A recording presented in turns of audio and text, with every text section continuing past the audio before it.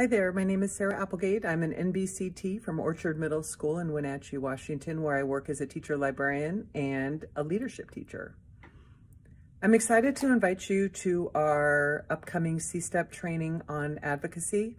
I know this is a really difficult time for all of us, kids, parents, families, teachers, administrators, but this is a really good opportunity for you to spend time getting to know what your vision is as an NBCT and learning how to put it into a succinct, clear, and passionate message for those in power.